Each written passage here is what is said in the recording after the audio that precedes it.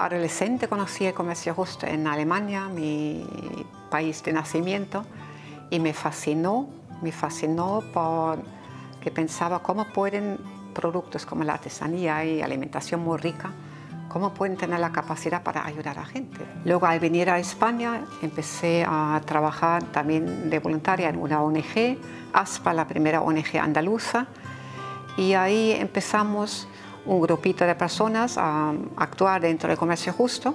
Iniciamos la aventura en Córdoba con la primera tienda de la solidaridad y después llegó un momento, en un plazo de dos, tres años, también con el auge, con el empujón de la Expo, de pronto en el 92 teníamos una docena de tiendas por toda Andalucía y animamos a otras entidades a, a empezar con el comercio justo por toda España.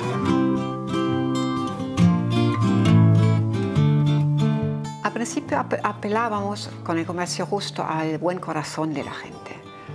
Creo que los tiempos han cambiado mucho. La gente hoy conoce mucha artesanía, mucha alimentación de muchas partes del mundo. Esto no es nada nuevo. Entonces hay que buscar un equilibrio muy, muy, muy importante entre la calidad de, de producto en sí y la calidad fantástica del mensaje de comercio justo. Ayudar consumiendo.